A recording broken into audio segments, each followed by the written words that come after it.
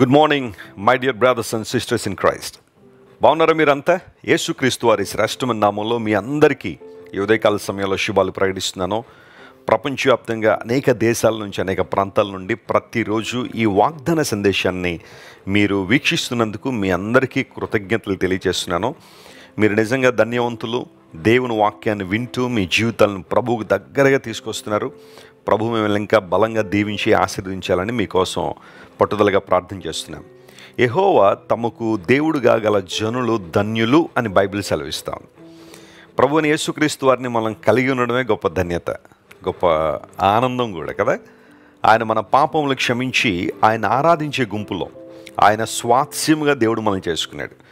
ఎవరైనా మీ దగ్గరికి వచ్చి మీరు ఎవరు అని అడిగితే మేము యేసుక్రీస్తు ప్రభు యొక్క స్వాస్యమై ఉన్నాము అని చెప్పడం ఎంత ఆశీర్వాదకరమో ఎంత ఆనందకరమో మీరు గమనించండి. దేవుడు మనకిచ్చిన గుర్తింపు అలాంటిది.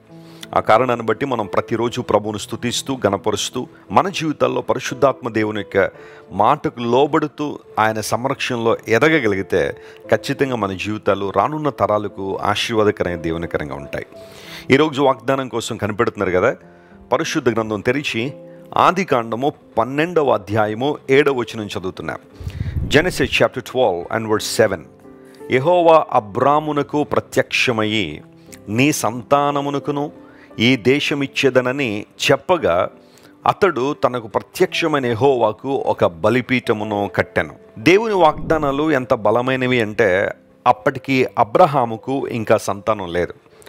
తన డెబ్బై ఐదో సంవత్సరంలో దేవుడు అబ్రహాము యొక్క పిలుపును విని కల్దీ దేశం నుండి బయటకు రావడానికి ఆయన ప్రయాణం ప్రారంభించాడు. తనతో పాటు తన భార్యను తీసుకొచ్చాడు. మరి కొంతమంది ఆయన వెంబడి వచ్చారు.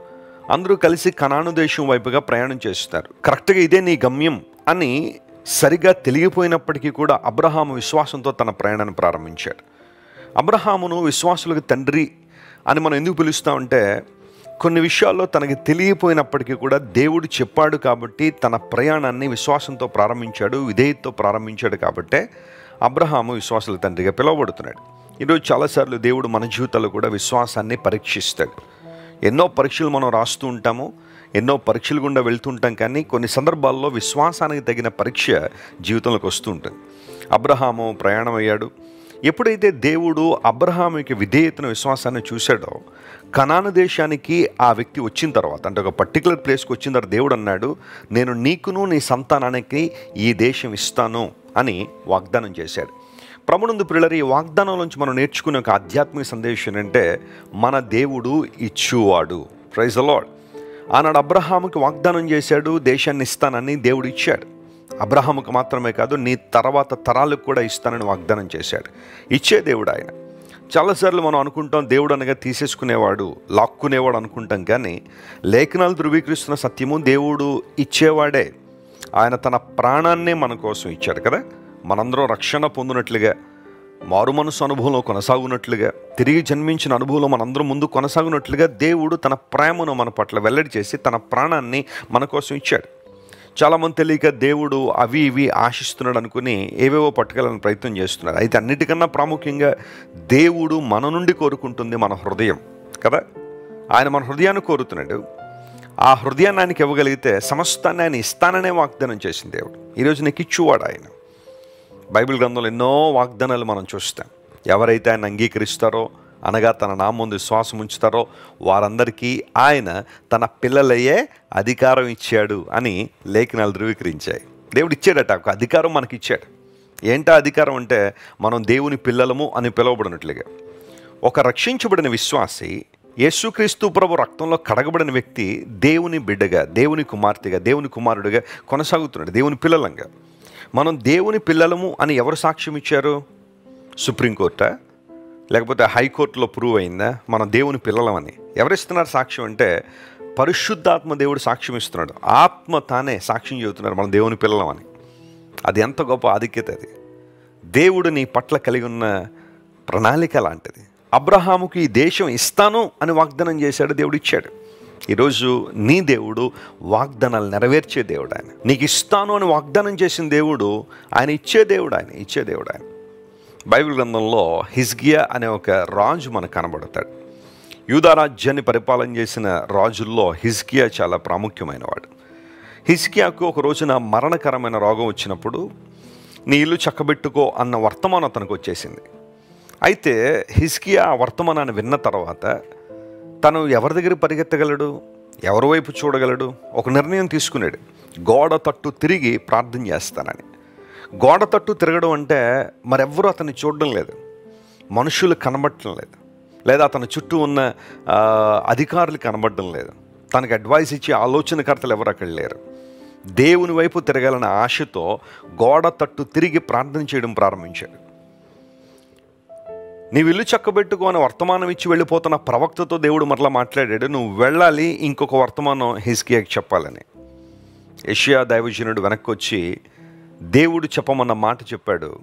నేను నీ ప్రార్థన విన్నాను నీ కన్నీటిని చూశాను నీకు మరలా ఆయుష్ను ఇస్తున్నాను. ఎంత చక్కని మాట అది.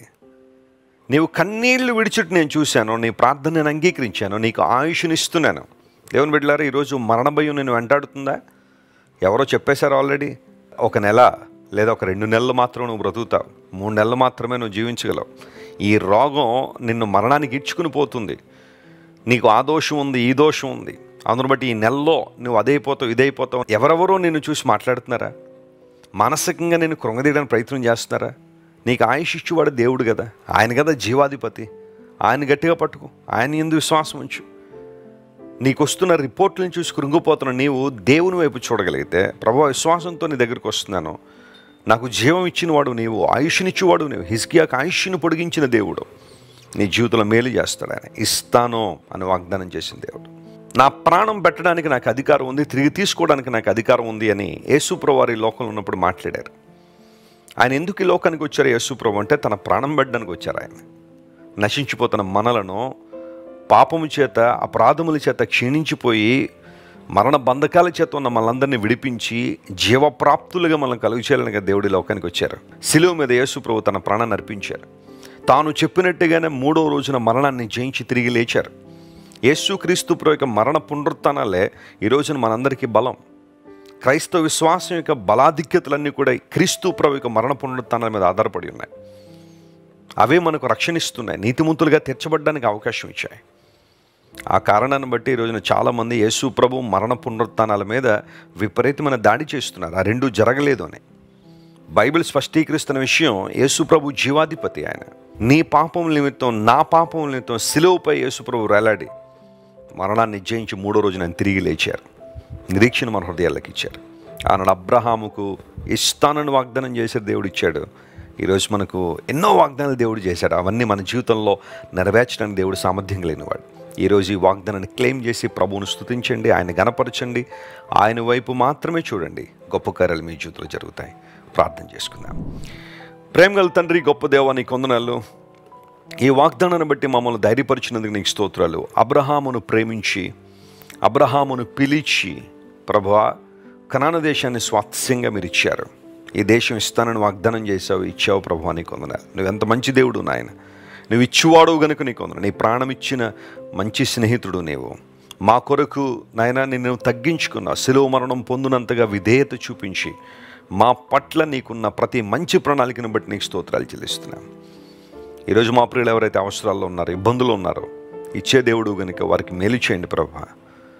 వారి ఉద్దేశాల్లో వారి ప్రణాళికల్లో నీ అభిషేకం ఉంచి అద్భుతాలు చేయమని కోరుతున్నాం. ఘనత మహిమ నీకు చెల్లిస్తూ ఈరోజు అంతట్లో కావాల్సిన విజయాన్ని ప్రతి ఒక్కరికి దయచేయమని యేసుక్రీస్తు నామం పేరిట అడుగుచున్నాం తండ్రి. Amen amen. God bless you dear friends. Have a wonderful day.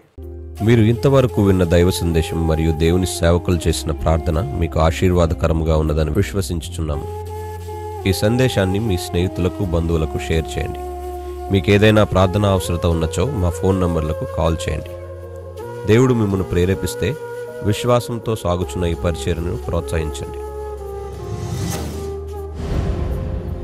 మరిన్ని వర్తమానాలు పాటలు వినుటకు జాన్ వెస్లీ మినిస్ట్రీస్ అను మా యూట్యూబ్ ఛానల్ను సబ్స్క్రైబ్ చేసుకునండి. ప్రభు అయిన యేసుక్రీస్తు కృప మీకు తోడైండునుగాక. గాక